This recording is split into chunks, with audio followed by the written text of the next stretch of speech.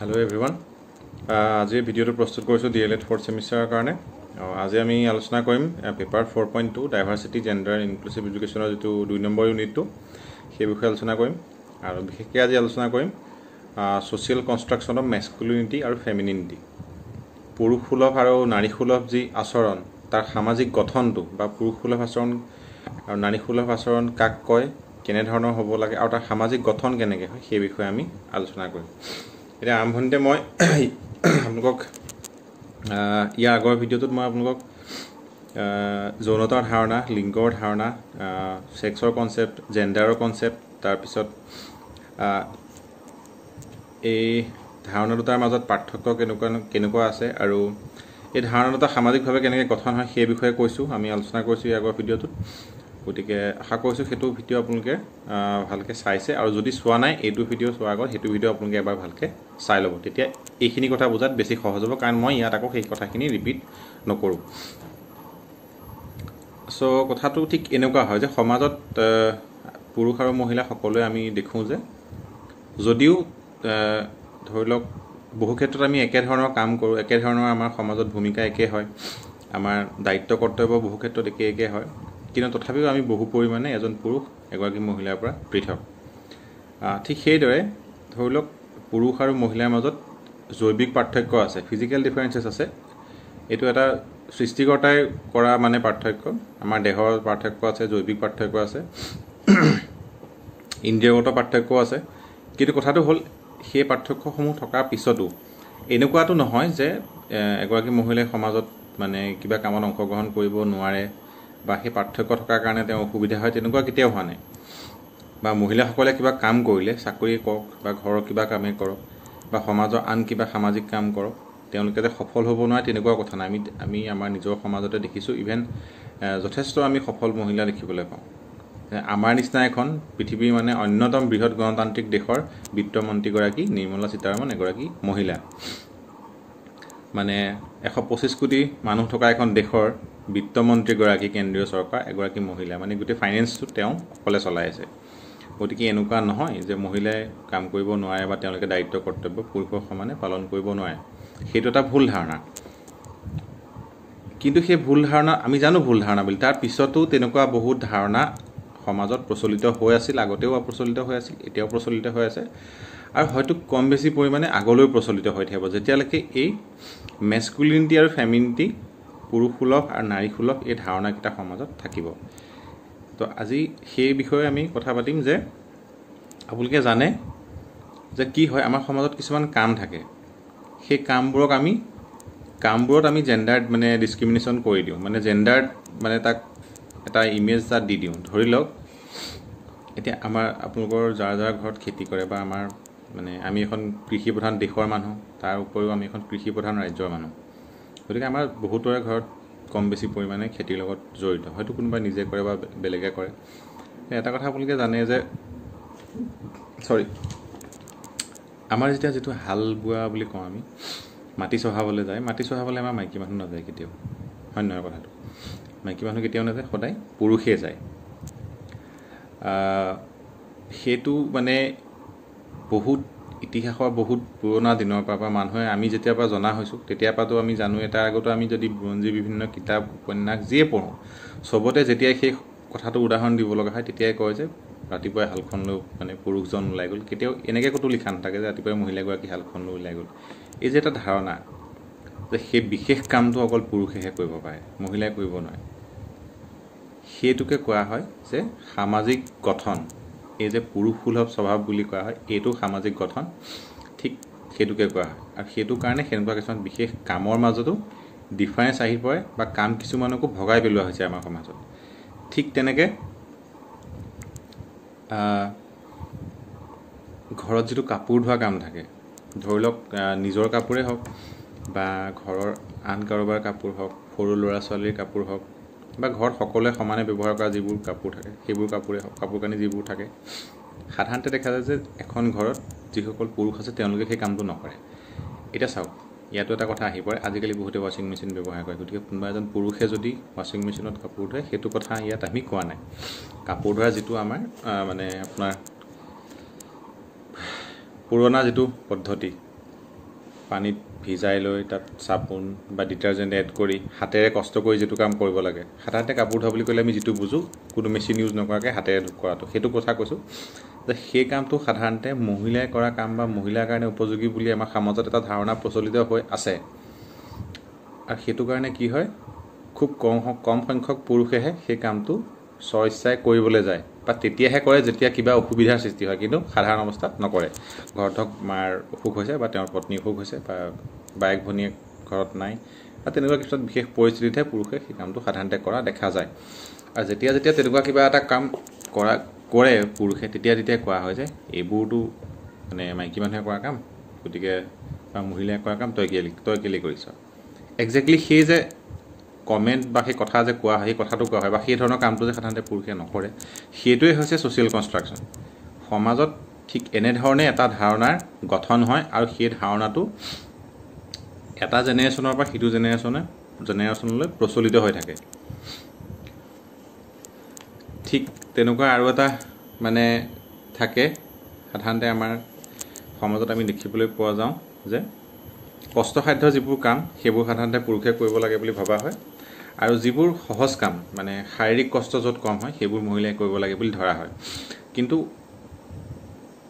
মানে irrespective of their physical differences পুৰুষ আৰু মহিলাৰ মাজত যিবোৰ ফিজিকেল ডিফাৰেঞ্চেছ আছে সেইবোৰ যদি আমি বাদ দিওঁ তথাপিও এগৰাকী মানে এজন পুৰুষে এগৰাকী মহিলাৰ সমান বা এগৰাকী মহিলা এজন পুৰুষৰ সমান সমানে সক্ষম যিকোনো এটা কাম কৰিবলৈ।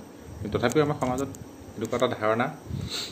আগৰ পৰা আছিল এতিয়াও আছে আগলৈ হয়তো কম বেছি পৰিমাণে থাকিব। বা সেই ধাৰণাটো যে গঠন হৈছে সেইটোকে কোৱা হয় যে সেনেকেই গঠন হয় পুৰুষে কি কৰিব লাগে মহিলাই কি কৰিব নালাগে। কৰিব লাগে চৰি কৰিব লাগে বা পুৰুষে কি কৰিব নালাগে আৰু মহিলাই কি কৰিব নালাগে। এই ধাৰণাটোৰ গঠন ঠিক এই ধৰণে হয়। তেনেকুৱা এটা ধাৰণা আছে উদাহৰণটো এনেকুৱা যে যিবোৰ শাৰীৰিকভাৱে কষ্ট কৰা কাম সেইবোৰ পুৰুষে কৰিব লাগে পৰাপক্ষত আৰু যিবোৰ কামত শাৰীৰিক কষ্ট কম হয় সেইবোৰ মহিলাই কৰিব লাগে। ঠিক তেনেধৰণে এতিয়া আৰু এটা ধাৰণা আমাৰ সমাজত আছিল যে শিক্ষকতা যিটো বৃত্তি এতিয়া সেই ধাৰণাটো সলনি হৈছে। কিন্তু বহুত এনেকুৱা বৃত্তি আছে যিবোৰ বৃত্তিত আপোনালোকে সাধাৰণতে মানে পুৰুষতকৈ বেছি মহিলা দেখা পাব। বা সেই বৃত্তিটোকে এটা প্ৰফেশ্যনক তাক মানে জেণ্ডাৰ এটা ইমেজ দি দিয়া হৈছে যে নাই এইটো অকল মহিলাইহে কৰিব পাৰে। বা মহিলাই কৰিলে এই কামটোৰ ফলাফলটো বেছি ভাল হয়। যেনেকৈ ধৰি লওক ৰোগীক শুশ্ৰূষা কৰা। নাৰ্ছৰ কথা কৈছোঁ আমি। আপোনালোকে দেখিব যে মানে বেছি সংখ্যক হস্পিটেলৰ চৰকাৰী হওক বেচৰকাৰী হওক বেছি সংখ্যক হস্পিটেলৰ ৰোগীক শুশ্ৰূষা কৰাৰ দায়িত্ব যিসকল নাৰ্ছ থাকে তেওঁলোকৰ অধিক সংখ্যকে মহিলা। যিবোৰ নাৰ্ছিং ইনষ্টিটিউট থাকে ইভেন আমি মানে নাৰ্ছ শব্দটোকে আমি এটা নাৰ্ছ মানে হৈছে যিজনে ৰোগীক শুশ্ৰূষা কৰে তেওঁক নাৰ্ছ বুলি কোৱা হয়। ইয়াত কোনো জেণ্ডাৰৰ কথা আহি নপৰে সেইজন পুৰুষো হ'ব পাৰে মহিলা হ'ব পাৰে। কিন্তু আমি এই জেণ্ডাৰৰ লগত কোনো সম্পৰ্ক নোহোৱা এটা শব্দক আমি এটা জেণ্ডাৰ ইমেজ অলৰেডি দি দিছোঁ। এতিয়া যেতিয়া যেতিয়াই আপোনাৰ আগত বা মোৰ আগত কোনোবাই নাৰ্ছ শব্দটো ব্যৱহাৰ কৰে প্ৰথমে মোৰ মনলৈ আহে এগৰাকী মহিলা ছবি এখন আহে। কিন্তু এই শব্দটোৰ লগত জেণ্ডাৰৰ কোনো সম্পৰ্ক নাছিলে। ঠিক তেনেধৰণে। মানে পুৰুষ আৰু মহিলাৰ মানে যিবিলাক বৈশিষ্ট্য আছে সেই বৈশিষ্ট্য সম্পৰ্কেও আমাৰ সমাজে কিছুমান ধাৰণা কৰি লৈছে। কিন্তু এই ধাৰণাবোৰৰ লগত আমাৰ পুৰুষ আৰু মহিলাৰ যিবোৰ ফিজিকেল ডিফাৰেঞ্চেছ আছে ক্ৰিয়েশ্যনৰ ডিফাৰেঞ্চেছ আছে বা যৌনতাৰ যিবোৰ পাৰ্থক্য আছে সেইবোৰৰ কোনো সম্পৰ্ক নাই। কিন্তু সমাজে নিজৰ সুবিধাৰ কাৰণে সমাজৰ নিজৰ সুবিধাৰ কাৰণে বা পুৰুষতান্ত্ৰিক সমাজৰ সমাজখন মানে প্ৰচলিত হৈ থকা সুবিধাৰ কাৰণে এনেকুৱা কিছুমান ধাৰণা তৈয়াৰ কৰি লৈছে সেইবোৰ প্ৰচলন হৈ আছে। এটা জেনেৰেশ্যনৰ পৰা পাছৰ জেনেৰেশ্যনটোলৈ সেইবোৰ কণ্টিনিউ হৈ আছে। আৰু এই ধাৰণাবোৰ কি হয়? এই ধাৰণাবোৰৰ মানে আপোনাৰ সৃষ্টিটো কেনেকুৱা হয় যে ধৰি লওক পুৰুষ আৰু মহিলাৰ যৌনতাৰ ওপৰত ভিত্তি কৰি যিটো ছেক্স বুলি কোৱা হয় ছেক্সটোৰ ওপৰত ভিত্তি কৰি এটা জেণ্ডাৰ্ড কিছুমান আইডেণ্টিটি বা জেণ্ডাৰ কিছুমান ৰোল আইডেণ্টিটি কিছুমান ৰেচপনচিবিলিটি সমাজে অলৰেডি সেইখিনি বনাই দিছে সেইখিনি গঠন কৰি দিছে। এইবোৰ অলিখিত এইবোৰ ক'তো লিখা নাথাকে। এনেকুৱা নহয় যে সংবিধানৰ নিচিনাকৈ বা নিয়ম কানুনৰ নিচিনাকৈ ক'ৰবাত লিখা আছে। গতিকে আমি যেতিয়া জন্ম হোৱাৰ পিছত লিখা পঢ়া শিকিব মানে শিকিবলৈ আৰম্ভ কৰোঁ তেতিয়া সেইবোৰ আমি পঢ়ি পেলাই সেইমতে আমি সেইবোৰ ফ'ল' কৰোঁ। ঠিক তেনেকুৱা নহয়। সমাজত এইবোৰ মুখে মুখে প্ৰচলিত হৈ আছে মানুহৰ মানসিকতাত এই কথাবোৰ সোমাই আছে। এইবোৰ ক'তো লিখিত ৰূপত নাথাকে। মানুহক ক'ব নালাগে তেওঁলোকে নিজে জানে। কাৰণ এই ধাৰণাটোক ইমান বেছিকৈ সমাজত গুৰুত্ব দিয়া হয় এনেকুৱা ধাৰণাবিলাক যে এতিয়া মানুহক কোনো ক'ব নালাগে মানুহক কোনো শিকাবও নালাগে। ঘৰত এটা নতুন এটা মানে শিশু জন্ম হোৱাৰ লগে লগে সেই নিৰ্দিষ্ট পৰিয়ালটোৱে জানে সেই ধাৰণাবিলাক একদম কম বয়সৰ পৰাই। শিশুটোক লাহে লাহে দিবলৈ আৰম্ভ কৰে। তো আগতো মই আপোনালোকক ক্লাছত কৈছোঁ যে যেতিয়া মানে শিশু এটা জন্ম হয়। ডক্টৰে যেতিয়া কয় মানে যে শিশুটো ল'ৰা নে ছোৱালী ল'ৰা হ'লে তাৰ কাৰণে অলপমান ইনিচিয়েলিটো চব ট্ৰিটমেণ্টটো সমানে থাকে কাপোৰ কানি পালৈ বাকী গোটেইবোৰ কম বয়সত ঠিকে থাকে। কিন্তু অলপমান দুই তিনি চাৰি মাহৰ পিছত আপোনালোকে দেখিব ল'ৰা হ'লে তাৰ কাৰণে খেলা বস্তু বেলেগ ধৰণৰ হ'ব পিষ্টল আহিব গাড়ী আহিব তাৰপিছত আপোনাৰ সৰু সৰু প্লেন মানে সেনেকুৱা ধৰণৰ বস্তুবোৰ আহিব যিবোৰক মেস্কুলিন বুলি কোৱা হয় সাধাৰণতে। আমাৰ সমাজত সেইবোৰক মানে মেস্কুলিন বস্তু বুলি কোৱা হয়। আৰু যদি ছোৱালী হয় পুতলা আহিব পুতলা ঘৰ আহিব বা কিবা ভাটৌ চৰাই কিবা পুতলা আহিব। খুব যিবোৰ মানে ডিচেণ্ট বস্তু মাৰ্জিত বস্তু সেইবোৰ আহিব। গতিকে এনেকুৱা নহয় যে সেই বুজি নোপোৱা শিশু কথা ক'ব শিকা নাই মানে মেণ্টেলিটি গ্ৰ' হোৱা নাই ভালকৈ। সেই শিশুটোক সেই তেতিয়াৰ পৰা সেই ধাৰণাটো দি অহা হয় যে just because of you are born in this particular sex you have to follow or you have to uh, uh, act accordingly in the society যে যিহেতু সেই শিশুটো এটা নিৰ্দিষ্ট যৌনতাত জন্ম হৈছে গতিকে সেই যৌনতাৰ কিছুমান মানে নিয়ম কানুন আছে কিছুমান কথা আছে সেইবোৰ সি ফ'ল' কৰিব লাগিব। তাক শিকাবলৈ সেই ইনফৰ্মেল ট্ৰেইনিংটো একদম সৰুৰ পৰাই দিয়া হয়। আৰু ঠিক তেনেকেই গঠন হয়। পুৰুষ সুলভ আৰু মহিলা সুলভ এই ধাৰণাকেইটাৰ সমাজে যেতিয়া এনে এনেকুৱা কিছুমান জাপি দিয়ে মানে শিশু এটাৰ যৌনতাৰ ওপৰত ভিত্তি কৰি বা মানুহ এজনৰ যৌনতাৰ ওপৰত ভিত্তি কৰি তেওঁ পুৰুষ নে মহিলা সেইটোৰ ওপৰত ভিত্তি কৰি পেলাই যেতিয়া জাপি দিয়ে এনেকুৱা কিছুমান ভূমিকা কাৰ্য বৈশিষ্ট্য প্ৰত্যাশা এইবোৰৰ যিবোৰ ডিফাৰেঞ্চ থাকে বা পাৰ্থক্য থাকে সেইবোৰেই পিছলৈ গৈ পেলাই জেণ্ডাৰ যিটো ডিফাৰেঞ্চ থাকে সেইটো সৃষ্টি কৰে। বা লিংগজনিত যিবোৰ পাৰ্থক্য থাকে সেইটোৰ সৃষ্টি কৰে। এতিয়া চাওক এতিয়া ইয়াৰ উদাহৰণটো এনেকুৱা হ'ব পাৰে যে আমাৰ সমাজত ছোৱালীজনী কেনেকুৱা হোৱাটো বিচাৰে? মৃদু ভাল স্বভাৱৰ নম্ৰ বাধ্য এনেকুৱা হোৱাটো বিচাৰে। একে সময়তে ল'ৰা কেনেকুৱা হোৱাটো বিচাৰে? যে দৃঢ় মানে কনফিডেণ্ট পৰাক্ৰমী বলৱান। মানে ফিজিকেলি যিমান বেছি নিজকে শ্ব' অফ কৰিব পাৰে। Physically as well as mentally যিমান বেছি নিজকে শ্ব' অফ কৰিব পাৰে। গতিকে ল'ৰা তেনেকুৱা হ'ব লাগে। এইবোৰতো প্ৰাকৃতিক পাৰ্থক্য নহয়। প্ৰকৃতিয়েতো তেনেকৈ সৃষ্টি কৰা নাছিলে মানুহক যে ল'ৰা হ'লেই সি মানে শিল দাঙিবলৈ যাব লাগিব আৰু ছোৱালী হ'লেই ভাত বনাব লাগিব। প্ৰকৃতিয়ে তেনেকৈ সৃষ্টি কৰা নাছিলে। প্ৰকৃতিয়ে পাৰ্থক্যসমূহো কৈ দিয়া নাই। বেলেগ বেলেগ ধৰণৰ কাপোৰ পিন্ধিবলৈ দিয়া নাই। বেলেগ বেলেগ ধৰণৰ কথা ক'বলৈ দিয়া নাই। কষ্ট পালে যিকোনো কাৰণত যেতিয়া কষ্ট পায় এটা মানে প্ৰাকৃতিক এটা ৰিয়েকশ্যন আমাৰ। মানুহ মানুহ মানুহৰ এটা প্ৰাকৃতিক ৰিয়েকশ্যন যে যেতিয়া কিবা কথাত কষ্ট পায় মানে ক'ৰবাত কিবা দুৰ্ঘটনা হয় হওক মানে শাৰীৰিক কষ্টই হওক বা মানসিক কষ্ট হওক মানুহে আঘাত পালে মানুহৰ চকুৰ পৰা পানী ওলায় সেইটো এটা মানে মানুহৰ বৈশিষ্ট্য। এই দেহটোৰ বৈশিষ্ট্য। ইয়াৰ লগত পুৰুষ মহিলা সম্পৰ্ক নাই। কিন্তু সেইটোতো এটা জেণ্ডাৰ ইমেজ দি দিয়া হৈছে যে পুৰুষ হ'লে সেইটো ওলাব নালাগে। কিন্তু যিটোৰ লগত জেণ্ডাৰ বা এই গোটেই মানে সমাজৰ কোনো সম্পৰ্ক নাই সেইটো এটা মানৱ দেহৰ এটা বৈশিষ্ট্য। সেইটোৰ লগত সমাজৰ সম্পৰ্ক থাকিব নালাগিছিল জেণ্ডাৰৰ সম্পৰ্ক থাকিব নালাগিছিল। কিন্তু তাকো এটা ইমেজ দি দিয়া হৈছে যে এই বস্তুটো যদি পুৰুষ হয় ওলাব নালাগে বা ওলালে বেয়া পুৰুষৰ সেইটো দুৰ্বলতা দেখুওৱা হয়। গতিকে ঠিক এই ধৰণে এই পাৰ্থক্যবোৰ মানে আপোনাৰ প্ৰাকৃতিক পাৰ্থক্য নহয় এইবোৰ সমাজে দি লোৱা। এই ধাৰণাবোৰ এই পাৰ্থক্যবোৰ এইবোৰ একেবাৰে প্ৰাকৃতিক নহয় এইবোৰ সমাজে সৃষ্টি কৰি লোৱা নিজৰ সুবিধাৰ কাৰণে। বিশেষকৈ পুৰুষতান্ত্ৰিক সমাজবিলাকে যিবিলাকক আমি মানে পেট্ৰিয়াৰ্কিয়েল ছ'চাইটি বুলি কওঁ পুৰুষ প্ৰধান সমাজবোৰ পুৰুষ প্ৰধান সমাজবোৰে সাধাৰণতে এইবোৰ নিজৰ সুবিধাৰ কাৰণে সৃষ্টি কৰি লৈছে আৰু সেইবোৰে মানে এটা জেনেৰেশ্যনৰ পিছত সিটো জেনেৰেশ্যনলৈ প্ৰচলিত হৈ আছে আৰু সেইমতে আমি একৰ্ডিংলি আমি এক্টটো কৰি আছোঁ। আমি ব্যৱহাৰ আমাৰ সমাজত আমাৰ আচাৰ আচৰণ ব্যৱহাৰ আমি ঠিক সেইমতে কৰি আহিছোঁ।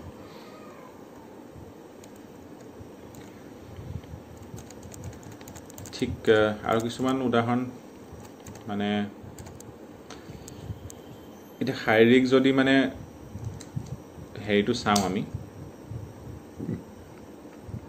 শৰীৰটোৰ লগত জড়িত কিছুমান মানে সামাজিক ধাৰণা মানে পুৰুষ সুলভ আৰু মহিলা সুলভ বেলেগ বেলেগ ধাৰণা। সামাজিক ধাৰণাৰ কথা কৈছোঁ মই আপোনালোকে কথাটো মন কৰিব যে মই ইয়াত জৈৱিক ধাৰণাৰ কথা কোৱা নাই। বায়'লজিকেল যিটো কনচেপ্ট সেইটো কথা কোৱা নাই। মই কৈছোঁ যে ছ'চিয়েল কনচেপ্ট ছ'চিয়েল কনচেপ্ট মতে কেনেকুৱা হ'ব লাগে? এজন পুৰুষ কেনেকুৱা হ'ব লাগে? শাৰীৰিকভাৱে। আৰু এগৰাকী মহিলা কেনেকুৱা হ'ব লাগে? পুৰুষবিলাক সাধাৰণতে কেনেকুৱা হোৱাটো বিচাৰে সমাজে? ৰুক্ষ হোৱাটো বিচাৰে। ৰাফ এণ্ড টাফ বুলি কওঁ যিটোক আমি। বলৱান হোৱাটো বিচাৰে ফিজিকেলি ষ্ট্ৰং হোৱাটো বিচাৰে। ঠিক একে সময়তে মহিলাক মসৃণ হোৱাটো বিচাৰে। মানে স্মুথ হোৱাটো বিচাৰে। স্মুথ মানে তাৰপিছত ধৰক স্মুথ টকিং খুব মানে ইমান বেছি ফিজিকেল মানে ছাইডটোত ইমান বেছি গুৰুত্ব দিব তেওঁলোকৰ প্ৰয়োজন নাই ধৰক তেনেকুৱা হোৱাটো বিচাৰে দুৰ্বল হোৱাটো বিচাৰে। এতিয়া এতিয়া নতুনকৈ ধৰি লওক বেমাৰ আজাৰ বা মানে ফিজিকেল ফিটনেছৰ নতুনকৈ এটা ট্ৰেণ্ড আৰম্ভ হৈছে গতিকে আপোনালোকে এতিয়া পুৰুষৰ সমানে সমানে মহিলাকো জিমলৈ যোৱা দেখিব বা জগিং কৰা দেখিব বা য়োগা কৰা দেখিব। কিন্তু তথাপিও ইমানকৈ ইমান বেছি ছ'চিয়েল মিডিয়াৰ দিনত ইমান বেছি ফিজিকেল ফিটনেছৰ ট্ৰেণ্ডিং হৈ থকাৰ দিনতো এতিয়া যদি আপোনালোকে ৰেচিঅ'টো চায় অনুপাতটো চায় দেখিব। সেইটো মানে কেইখনমান আগবঢ়া চহৰ নগৰ বাদ দি আমাৰ গাঁৱলীয়া অঞ্চলসমূহত এতিয়াও মহিলাৰ স্বাস্থ্যটোক লৈ পেলাই মানে ইমান গুৰুত্ব দিয়া নহয়। তেওঁ শকতেই হৈ থাকক তেওঁ ক্ষীণেই হৈ থাকক বা তেওঁ যে ফিট হ'ব লাগে সেই কথাটোক গুৰুত্ব দিয়া নহয়। কিন্তু যদি পুৰুষ পুৰুষ এজন শকত হৈ যায় তেতিয়া কিন্তু চবৰে কনচাৰ্ণ আৰম্ভ হৈ যায় যে নাই তই বেছি শকত হৈছোঁ। বা তই বেছি ক্ষীণাই গৈছোঁ তোৰ কিবা হৈছে নেকি? কিন্তু মহিলাগৰাকী সাধাৰণতে সেনেকুৱাবোৰ প্ৰশ্ন সেনেকুৱাবোৰ মানে কনচাৰ্ণ সমাজৰ পৰা আশাও নকৰে আৰু তেওঁৰ কাৰণে কৰাও নহয়। ঠিক সেইদৰে পুৰুষৰ শৰীৰটো কেনেকুৱা হোৱাটো বিচাৰে মানুহে? সমাজে মানে এই ধাৰণাবোৰে যে সহজে আঘাতপ্ৰাপ্ত নহয়। ধৰি লওক ক'ৰবাত মই শাৰীৰিকভাৱে কিবা এটা আঘাত পালোঁ এতিয়া যদি দা কটাই কিবা এখন ভুলতে মোৰ ক'ৰবাত হাতৰ আঙুলিত বা হাতত আহি মোক কাটিলে অলপমান কাটিলে সেই একেখিনি কাটিলে মই যিমান কষ্ট পাম মোৰ যিমান ব্লিডিং হ'ব পেইন যিমান মই ফিল কৰিম এগৰাকী মহিলাও সিমানেই ফিল কৰিব। কিন্তু সমাজে বিচাৰে যে মোক কাটিছে মোৰ ব্লিডিঙো হৈছে মই কষ্ট পাইছোঁ মই সহ্য কৰিব পৰা নাই বা ষ্টিল মই দেখাব এইটো লাগে যে মোৰ একো হোৱা নাই আৰু মই সহ্য কৰিব পাৰোঁ। সেইটো ইমান ডাঙৰ কথা নহয়। একেটা একেখিনি একদম ছেইম এমাউণ্ট অফ ইঞ্জুৰি যদি এগৰাকী মহিলাৰ ক্ষেত্ৰত হয় তেওঁ মানে কান্দি কাটি হাইৰাণ কৰি দিব লাগে। সামাজিক ধাৰণা হ'ল সেইটো শৰীৰৰ ক্ষেত্ৰত।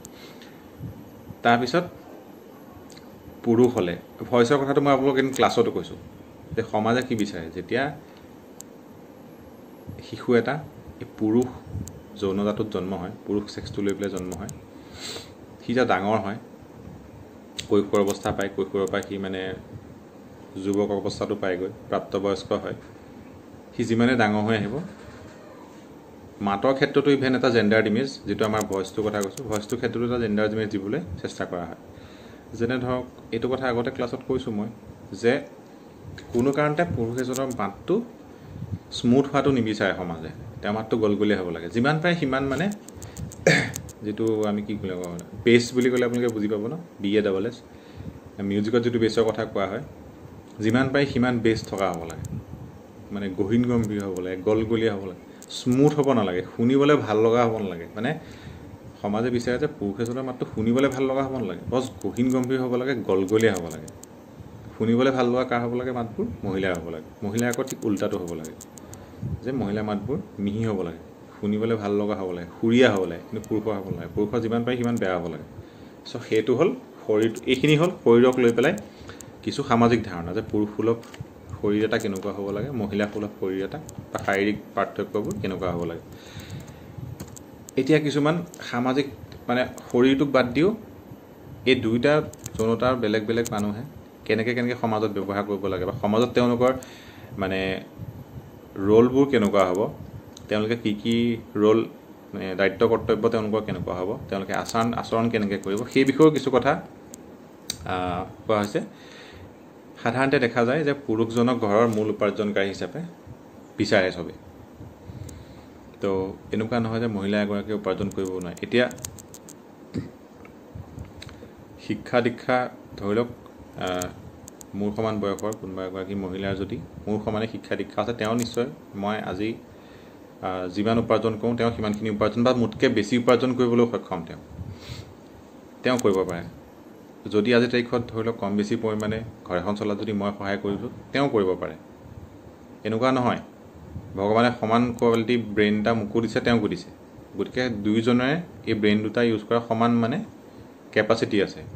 কিন্তু কথাটো হ'ল আমাৰ সমাজত এটা ধাৰণা আছে যে যদি পৰিয়াল এটাত পুৰুষ আছে যদিহে পুৰুষ আছে পিতৃয়ে হওক পুত্ৰই হওক বা মানে হাজবেণ্ডে হওক যোনেই হওক ভায়েকে হওক বায়েকে হওক যদি পৰিয়াল এটাত পুৰুষ আছে তেনেহ'লে মূল উপাৰ্জনকাৰী যিজন হয় তেওঁ সদায় পুৰুষ হ'ব লাগে। আৰু যেতিয়া যেতিয়া নহয় এইটো এটা নৰ্ম এইটো এটা মানে জেণ্ডাৰ্ড এটা নৰ্ম আৰু যেতিয়া যেতিয়া ইয়াৰ পৰা ফালৰি কাটি আহে তেতিয়া তেতিয়া আপোনালোকে সমাজত মানুহে কোৱা শুনিব যে কেতিয়াবা কেতিয়াবা আপোনালোকে নিজৰ ঘৰৰ ওচৰে পাজৰে কোৱা শুনে যে ঘৰত ল'ৰাটো থকাত বা বাপেকটো থকাত ছোৱালীজনী ইনকাম কৰিব আনিব লগা হৈছে। বা ঘৰ ল'ৰাটো থকাত বাপেকটো থকাত জীয়েকে বা মাকে মানে ইনকাম কৰি ঘৰখন চলাব লগা হৈছে। সেইটো বেয়া কথা একো নহয় কিন্তু সেইটোক নিগেটিভ হিচাপে লোৱা হয়। সেইটোৱে হৈছে ছ'চিয়েল কনষ্ট্ৰাকশ্যন অফ মানে মেছকুলিনিটি এণ্ড ফেমিনিনিটি সেইটোৱে কথা। যে সামাজিক ধাৰণাটো ঠিক তেনেকৈ গঠন হয়। ঠিক একে সময়তে যে পুৰুষক যেতিয়া বিচৰা হয় যে তেওঁ উপাৰ্জন কৰি ঘৰখন চলাওক মহিলাক বিচৰা হয় যে তেওঁ পৰিয়ালত থাকক। তেওঁ পৰিয়ালটো থাকক তেওঁ চোৱা চিতা কৰক। তেওঁ উপাৰ্জন কৰিব যাব নালাগে আৰু যেতিয়ালৈকে ঘৰত এজন পুৰুষ থাকে মানে সমাজত এটা ধাৰণা এইটো আছে যে পুৰুষ এজন থকালৈকে সেই পৰিয়ালটোৰ মুৰব্বী বয়সটো মানে ইৰেচপেক্টিভ অফ হিজ এজ মানে। বয়সটো বাদ দিয়ক। যদি যিজন পুৰুষ আছে তেওঁৱে পৰিয়ালটোৰ মুৰব্বী। সেই পৰিয়ালটোত মুৰব্বী বেলেগ কোনো নাই। সেইটো এটা ধাৰণা আমাৰ সমাজত আছে। আৰু ঠিক একে সময়তে মহিলাসকলক কি হোৱাটো বিচাৰে? পুৰুষক যেনেকৈ পৰিয়ালৰ মুৰব্বী হোৱাটো বিচাৰে মহিলাসকলক বিচাৰে আদৰ্শ মাতৃ হওক তেওঁ আদৰ্শ পত্নী হওক আদৰ্শ ভগ্নী হওক কিন্তু তেওঁ পৰিয়ালৰ মুৰব্বী হ'ব নালাগে। ঠিক তেনেকৈ নেতা যিবোৰ আমাৰ ৰাজনৈতিকে হওক অৰাজনৈতিকে হওক বিভিন্ন দল সংগঠনে হওক আপোনালোকে মন কৰিব যে পুৰুষসকলক সাধাৰণতে বেছিকৈ নেতা হোৱা দেখা যায়। তেওঁলোকক তেওঁলোক নেতা হ'ব লাগে। সমাজ সমাজত এটা ধাৰণা আছে যে তেওঁ নেতা হ'ব পাৰে নেতা হ'ব লাগে। আৰু মহিলাসকলক খুব কমেইহে দেখা যায় যে তেওঁলোকক নেতা হ'বলৈ কোনোবাই মানে এনকাৰেজ কৰে বা কয়।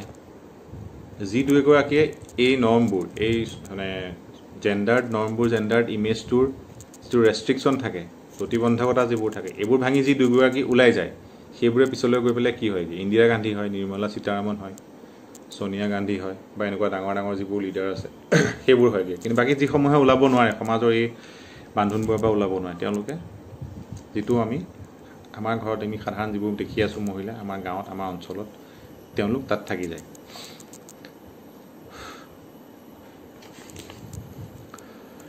আৰু সাধাৰণতে আৰু এটা কথা ইয়াত মানে আমাৰ সমাজত খুব চলি থাকে যে যিবোৰ সম্পদ সেইটো ব্যক্তিগত ঘৰুৱা সম্পদে হওক বা সামাজিক সম্পদে হওক মহিলাসকলক সাধাৰণতে উপভোক্তা বুলিহে কোৱা হয় বেছিকৈ। কনজিউমাৰ বুলি তেওঁলোকক গণ্য কৰা হয় যে পুৰুষজনে ইনকাম কৰি আনি দিয়ে আৰু তেওঁলোকে বহি বহি খায়। বহি বহি খুৱাবলৈ তেওঁলোকে খায় তেওঁলোকে উপভোগ কৰে। সেই সেই ধৰণৰ এটা ধাৰণাও সমাজত প্ৰচলিত হৈ থাকে। তাৰপিছত ধৰি লওক পুৰুষসকলক চিন্তা আৰু কৰ্মত স্বাধীন এই ধৰণে ভবা হয়। আৰু মহিলাসকলক ঠিক একে সময়তে যে তেওঁলোকে নিৰ্ভৰ কৰে। তেওঁলোকে চিন্তা কৰিবলৈও পুৰুষৰ ওপৰত নিৰ্ভৰ কৰিবলগীয়া নিৰ্ভৰ কৰিব লাগে বা কাম কৰিবলৈ পুৰুষৰ ওপৰত নিৰ্ভৰ কৰিব লাগে। সামাজিক ধাৰণাটো হ'ল সেইটো। তাৰপিছত ঠিক সেইদৰে পুৰুষসকলক দুঃসাহসিক বুলি ধৰা হয় আৰু মহিলাসকলক স্পৰ্শকাতৰ বুলি ধৰা হয় বা খুব চেঞ্চিটিভ বুলি ধৰা হয়। পুৰুষসকলক ক্ষমতাশালী বুলি ধৰা হয় মানে পাৱাৰফুল তেওঁৰ এটা পাৱাৰ আছে তেওঁৰ এটা অথৰিটি আছে তেওঁ কৰিব পাৰে কিবা। মহিলাসকলে সাধাৰণতে মহিলাসকলক তেনেকৈ ধৰা নহয়। মহিলাসকলক ধৰা হয় যে মানে তেওঁ কৃতজ্ঞ হৈ থাকে যে মোক তেওঁ উপাৰ্জন কৰি আনি দিছে। মানে মই আছোঁ জীয়াই আছোঁ ভালকৈ। তেওঁ মোক আলপৈচান ধৰি আছে গতিকে তাৰ বাবে মই কৃতজ্ঞ আৰু মানে মহিলাৰ পৰা আশা কৰে যে তেওঁ প্ৰত্যেকটো সময়তহে সেই কৃতজ্ঞতাটো প্ৰকাশ কৰক। সমাজে সেইটো আশা কৰে। ঠিক তেনেধৰণে আৰু এটা এনেকুৱাও কিছুমান সৰু সৰু ডিফাৰেঞ্চো থাকে যেনেকৈ টেকনিকেল যিকোনো কাৰণত কামত সাধাৰণতে সৰু একদম মানে ঘৰৰ কিবা সৰু টিভি ৰিম'টটোৰ পৰা আৰম্ভ কৰি বহুত ডাঙৰ ডাঙৰ মেচিনেৰী টেকন'লজিকেল কম্পিউটাৰে হওক কিবাই হওক বা গাড়ীয়ে হওক যি হওক সকলোবোৰ টেকনিকেল কথাত পুৰুষক সাধাৰণতে বেছি ভাল বুলি ধৰা হয়। যে টেকনিকেল কামবোৰ পুৰুষে মহিলাতকৈ বেছি ভালকৈ কৰিব পাৰে। কিন্তু তেনেকুৱা একো বৈজ্ঞানিক ভিত্তি নাই বা তথ্য নাই এই কথাটোৰ কোনো বৈজ্ঞানিক ভিত্তিও নাই কোনো একো প্ৰামাণিক তথ্যও নাই। যদি পঢ়া শুনা কৰে যদি জ্ঞানটো আহৰণ কৰে মহিলাগৰাকীয়েও পুৰুষৰ সমানে সমানে টেকনি টেকনিকেল কাম কৰিব পাৰে বা কেতিয়াবা কেতিয়াবা তাতকৈ বেছিকৈও কৰিব পাৰে। কিন্তু সমাজত ধাৰণাটো প্ৰচলিত হৈ আছে টেকনিকেল কামবোৰত পুৰুষ মহিলাতকৈ বেছি ভাল। ঠিক সেইদৰে তেনেকুৱা আপোনালোকে আমি একাডেমিক্সত পাওঁ যে মেথমেটিক্স আৰু ছায়েন্সত পুৰুষবোৰ সাধাৰণতে ভাল হয় আৰু মহিলাবোৰ লিটাৰেচাৰত ভাল হয়। ধৰি লওক বা ধাৰণাটো ঠিক এনেকুৱা যে ল'ৰাবোৰে ছায়েন্স আৰু মেথছ পঢ়িব লাগে আৰু ছোৱালীবোৰে আৰ্টছ লিটাৰেচাৰ এনেকুৱা মানে আৰ্টছ আৰু লিটাৰেচাৰ ইজি চাব মানে সেই বস্তুটোকো তাত এটা জেণ্ডাৰ ইমেজ দিয়া হৈছে যে ছোৱালীবোৰে আৰ্টছ আৰু লিটাৰেচাৰ পঢ়িব লাগে। ঠিক চাইক'লজিকেল দিশটো যদি কথা পাতোঁ আমি মনস্তাত্ত্বিক দিশটো তাতো কিছুমান সামাজিক ধাৰণা জড়িত হৈ আছে। যেনে ধৰক পুৰুষবোৰে সকলো কথাই যুক্তিৰে বিচাৰ বিবেচনা কৰি চাব পাৰে। এইটো সামাজিক ধাৰণা দেই। এইটো কোনো মানে এইবোৰ কথা কোনো বৈজ্ঞানিক ভিত্তি নাই। এইবোৰ সামাজিক ধাৰণাৰ কথাহে মই কৈ আছোঁ। আপোনালোকে সেই বস্তুটো ভুল নকৰিব। সমাজে সামাজিক ধাৰণাটো এনেকুৱা যে পুৰুষবোৰ বেছি তেওঁলোকৰ মানে যুক্তিৰে কথাবোৰ ভাবি চিন্তি বিবেচনা কৰি কাম কৰা তেওঁলোকৰ যিটো প্ৰৱণতা বা ক্ষমতাটো তেওঁলোকৰ বেছি। ঠিক সেই সময়তে মহিলাসকল বেছি চেঞ্জিট চৰি বেছি ইম'চনেল তেওঁলোক বেছি আৱেগিক। তেওঁলোকৰ গাত যুক্তিৰে চিন্তা কৰাতকৈ বেছি তেওঁলোকে আৱেগেৰে বেছি চিন্তা কৰে। ঠিক সেইদৰে ছ'চিয়েল যিটো আমাৰ এটা ইণ্টেলিজেঞ্চ থাকে ন সমাজত মানে কোন সময়ত কেনেকুৱা সিদ্ধান্ত এখন সমাজত যিহেতু আমি বাস কৰোঁ গতিকে কেতিয়াবা ক'ৰবাত সামাজিক কিবা বিপদ বা তেনেকুৱা কিবা আমি সন্মুখীন হ'ব লগা হ'ব পাৰে। প্ৰত্যেকজন মানুহে জীৱনৰ কোনোবা নহয় কোনোবা সময়ত সমাজখনৰ লগত কেতিয়াবা অলপমান কনফ্লিক্ট হয়। চ' সেই সময়বোৰত সামাজিক যিটো ইণ্টেলিজেঞ্চ বা ছ'চিয়েল ইণ্টেলিজেঞ্চ বা সামাজিক যিটো মানে বুদ্ধিমত্তা লাগে এইটো ধৰা হয় যে তেনেকুৱা যেতিয়া সমস্যা এটা সৃষ্টি হয় তেতিয়া পুৰুষজনেহে সেইটো বেছি ভালকৈ তাক মানে সমাধান কৰিব পাৰিব মহিলা এগৰাকীয়ে নোৱাৰিব বা মহিলাগৰাকীৰ সামাজিক বুদ্ধিমত্তা বা ছ'চিয়েল ইণ্টেলিজেঞ্চটো কম থাকে। সেনেকুৱা ধৰণৰ পৰিস্থিতি মানে টেকেল কৰিব পৰাকৈ মহিলাৰ ক্ষমতাটো বা পাৰদৰ্শিতাটো কম থাকে। ঠিক সেইদৰে চাইক'লজিকেলি পুৰুষসকলক অসহিষ্ণু মানে খুব মানে টলাৰেট কম টলাৰেট কৰিব পৰা আৰু অস্থিৰ বুলি ধৰা হয় মানে আৰু ষ্টেবল নহয়। পুৰুষসকলক ধৰা হয় যে ল'ৰা মানুহক সাধাৰণতে আপোনালোকে এইটো মানে প্ৰায় শুনা যায় যে ল'ৰাবোৰক সাধাৰণতে কোৱা হয় যে এই ল'ৰা মানুহ এনেকুৱাই। মানে তেওঁ ষ্টেবল নহয়। মানে ইনষ্টেবিলিটি আৰু মানে ইনটলাৰেঞ্চটো পুৰুষৰ কোৱালিটি বুলি ধৰা হয় যায় অসহিষ্ণু সহ্য কৰিব নোৱাৰে। আৰু দ্বিতীয় কথা অস্থিৰ মানে স্থিৰ নহয় কোনো কথাতে। সেইটো এটা পুৰুষৰ মানে গুণ বুলি ধৰা হয়। ঠিক একেধৰণে মনস্তাত্ত্বিক দিশটোত ইয়াৰ এটা সামাজিক ধাৰণা মহিলাৰ ক্ষেত্ৰত এনেকুৱা যে মহিলাসকল ধৈৰ্যশীল আৰু শান্ত। তেওঁলোকে যিকোনো পৰিৱেশত ধৈৰ্য ধৰি কাম কৰিব পাৰে। আৰু হঠাতে তেওঁলোকে অস্থিৰ হৈ নাযায়। তেওঁলোকৰ মানে নিজৰ মনস্তাত্ত্বিক দিশটো খুব ভালকৈ মানে তাক কণ্ট্ৰল কৰি যিকোনো সিদ্ধান্ত বা যিকোনো পৰিস্থিতিৰ সৈতে তেওঁলোকে মানে আগবাঢ়িব পাৰে। ঠিক সেইদৰে আৰু কিছুমান ধাৰণা আছে যে পুৰুষবোৰ সাধাৰণতে অমনোযোগী হয় যিকোনো কথাৰ প্ৰতি মানে তেওঁলোকৰ ইণ্টাৰেষ্টটো কম থাকে আৰু মানে খুব মানে কি ক'ম ৰাফ হয় ইনচেনচিটিভ হয়। কথা কওঁতে ধৰক মানুহক চিন্তা নকৰে যে কথাটো কাৰোবাক আঘাত দিব পাৰে বা এনেকৈ কথাটো নক'লে হয় ইয়াতকৈ ভদ্ৰভাৱে বা ভালকৈ কোৱাৰ কিবা উপায় আছে। সেই বস্তুটো পুৰুষে কমকৈ চিন্তা কৰে। এইবোৰ কিন্তু সামাজিক ধাৰণা। মই বাৰে বাৰে কৈ আছোঁ ভুল নকৰিব। এইবোৰ একো এইবোৰ কথা কোনো ধৰণৰ বৈজ্ঞানিক ভিত্তি নাই। এইবোৰ খালী পুৰুষ আৰু মহিলাৰ যিটো লিংগভিত্তিক পাৰ্থক্য সেই পাৰ্থক্যটো যাতে মানে সমাজত চলি থাকে তাৰ কাৰণে যিবোৰ সমাজে ধাৰণা সৃষ্টি কৰিলে সেই ধাৰণাবোৰৰ কথাহে মই কৈছোঁ। সেই ধাৰণাবোৰৰ মতে পুৰুষ আৰু মহিলা কেনেকুৱা কেনেকুৱা হ'ব লাগে সেই বিষয়তহে সেই কথাখিনি কোৱা হয়তো কৈ থকা হৈছে। গতিকে পুৰুষক অমনোযোগী বুলি কোৱা হয় কঠোৱা বুলি কোৱা হয় ঠিক তেনেদৰে নিজৰ শৰীৰৰ প্ৰতি ইমান সচেতন নহয় পুৰুষবিলাক। তো কিন্তু মহিলাসকলক এট দ্য ছেইম টাইম নিজৰ শৰীৰৰ প্ৰতি সচেতন বুলি সমাজে এটা ধাৰণা দিয়ে। যে মহিলাসকল নিজৰ শৰীৰটোক লৈ পেলাই সচেতন। কি কথা কৈছে ক'ত কৈছে কেনেকৈ কৈছে সেইবোৰক লৈ সচেতন। তেওঁলোক sensitive at the same time পুৰুষবোৰ সাংঘাতিক ইনচেঞ্চিটিভ আৰু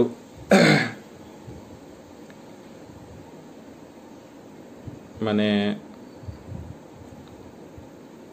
আৰু এটা কথা ইয়াত কোৱা হৈছে যে সমাজত আমাৰ এনেকুৱা ধাৰণা এটাও আছে। যে এক বয়সৰ মানে এটা এটা বয়সন্ধি পাৰ হোৱাৰ পিছত মহিলাসকলৰ মানে সম্পদ লাগিলে সেয়া মানে টকা পইচাই হওক মাটি হওক মাটি হওক ঘৰ হওক গাড়ী হওক মানে ফিজিকেল হওক কিবা প্ৰপাৰ্টি বা বেলেগ কিবা হওক টকা পইচা হওক যি হওক বা জুৱেলাৰী হওক এনেকুৱা ধৰণৰ সম্পদৰ প্ৰতি মহিলাৰ গুৰুত্বটো বেছি হৈ যায়। আৰু সেই গুৰুত্বটো পুৰুষৰ কিন্তু মানে বয়স বঢ়াৰ লগে লগে পুৰুষৰ ক্ষেত্ৰত ইমান বেছি নাবাঢ়ে কিন্তু মহিলাৰ ক্ষেত্ৰত বাঢ়ে। ওৱান ছেকেণ্ড এইটো কথা একো মানে তেনেকুৱা মানে চাইণ্টিফিক একো ফেক্ট নহয় এইটো জাষ্ট সমাজে সেইধৰণে কথাটো বিশ্বাস কৰে আৰু প্ৰত্যেককে সমাজৰ সদস্য হিচাপে সেইধৰণে বিশ্বাস কৰিবলৈ শিকায়। ঠিক সেইদৰে ধৰি লওক আমাৰ আৰু এই পুৰুষ সুলভ আৰু নাৰী সুলভ ধাৰণা যিটো আছে সেই ধাৰণাটোৰ এটা একদম ডাঙৰ উদাহৰণ হ'ল। এইবোৰতো ধৰক চাইক'লজিকেল কথাবোৰেই হওক সামাজিক কাৰণবোৰ হওক এইবোৰ তেতিয়া এই ধাৰণাবোৰ বা ইয়াৰ ব্যৱহাৰবোৰ তেতিয়া হ'ব যেতিয়া এটা শিশু জন্ম হয় মানে সি কৈশোৰ অৱস্থা বা প্ৰাপ্তবয়স্ক অৱস্থাবোৰ তেতিয়াই কথাবোৰ আহিব। কিন্তু তাৰ আগতকৈ সমাজত চবতকৈ ডাঙৰ এটা মানে টেণ্ডেঞ্চি আছে। এই মেস্কুলিনিটি আৰু ফেমিনিনিটি ডিফাৰেঞ্চটো যে মেইনটেইন হৈ থাকিব লাগে তাৰ টেণ্ডেঞ্চিটো ইমান বেছি আৰু সেইটো চবতকৈ বেছিকৈ আপোনালোকে দেখা পাব কেতিয়া যেতিয়া কাৰোবাৰ ঘৰত ল'ৰা জন্ম হয়। যিটো ধৰণে চেলিব্ৰেট কৰা হয় বা যি ধৰণে উদযাপন কৰা হয় ছোৱালী এজনী জন্ম হ'লে সেই ধৰণে উদযাপন কৰা নহয়। আজিকালি সেই ট্ৰেণ্ডটো সলনি হৈছে। কিন্তু তথাপিও বহু ক্ষেত্ৰত দেখা যায় যে মানুহে সদায় সন্তান ল'ৰা জন্ম হোৱাটোৱে বেছি প্ৰিফাৰ কৰে। আৰু ল'ৰা জন্ম হ'লে সেই পৰিয়ালটোতে হওক তেওঁলোকৰ মানে আত্মীয় কুটুম্বৰ মাজত যিটো আপোনালোকে মানে এটা ফেষ্টিভ এটা মুড দেখিব তেওঁলোকৰ মাজত চেলিব্ৰেশ্যন কৰা যিটো এটা ঢৌ দেখিব সেইটো সাধাৰণতে ছোৱালীজনী জন্ম হ'লে মানে দেখা নাযায়। আৰু সামাজিক এই যে মেস্কুলিনিটি আৰু ফেমিনিনিটি পুৰুষ সুলভ আৰু মহিলা সুলভ ধাৰণাৰ যিটো সামাজিক গঠন সেই গঠনটো চবতকৈ ডাঙৰ উদাহৰণ সেইটোৱেই। গতিকে আজি আমি পুৰুষ সুলভ আৰু মহিলা সুলভ মানে স্বভাৱৰ সামাজিক গঠন কেনেকৈ হয় আৰু তাক মানে সমাজত গঠন কেনেকৈ হয় আৰু এটা জেনেৰেশ্যনৰ পৰা সিটো জেনেৰেশ্যনলৈ সি কেনেকৈ প্ৰচলিত হৈ থাকে। চ' সেই বিষয়ে আমি কথা পাতিলোঁ। আশা কৰোঁ আপোনালোকে কিছু পৰিমাণে হ'লেও বুজি পাব। আৰু যদি কিবা আপোনালোকৰ অসুবিধা থাকে খোকোজা থাকে বা নুবুজা থাকে তো মই আগতো ইয়াৰ আগতো কৈছোঁ এই কথাটো। আপোনালোকৰ ৰেচপঞ্চ খুবেই কম। গতিকে মই আশা কৰিম যে আপোনালোকে ভিডিঅ'টো অন্ততঃ চাওক মন দি। আৰু যিকোনো অসুবিধা হ'লে আপোনালোকে মোক গ্ৰুপত মেছেজ কৰি পেলাই মোক ক'ব পাৰে। যদি গ্ৰুপত মেছেজ নকৰে মোক ব্যক্তিগতভাৱে মেছেজ কৰিব পাৰে। টেক্সট মেছেজ কৰে মোৰ নাম্বাৰটো দিয়া আছে সেই নাম্বাৰটোত মোৰ হোৱাটছএপ একাউণ্ট আছে টেক্সট মেছেজ কৰিব পাৰে বা হোৱাটছএপত মেছেজ কৰিব পাৰে। লগতে আৰু যদি আপোনালোকে ভাবে যে মানে আপোনাৰ সমস্যাটো মেছেজ কৰি আপুনি ক'লে হয়তো মই বুজি নাপাম বা আপোনাৰ মোক বুজোৱাত অসুবিধা হ'ব পাৰে আপুনি মোক ফোন কৰিব পাৰে। মই সেই নাম্বাৰটোত মই এভেইলেবল থাকোঁ। গতিকে মই আশা কৰোঁ যে আপোনালোকে ভিডিঅ'টো চাব আৰু কিবা যদি আপোনালোকৰ অসুবিধা আছে বা যদি কিবা বুজি পোৱাত মই বুজাওঁতে বুজাইছোঁ তথাপি আপোনালোকে বুজি পোৱাত অসুবিধা হৈছে বা খোকোজা কিবা ৰৈ গৈছে। গতিকে আপোনালোকে মোক এটলিষ্ট ৰেচপঞ্চটো দিব ফিডবেকটো দিব। ধন্যবাদ।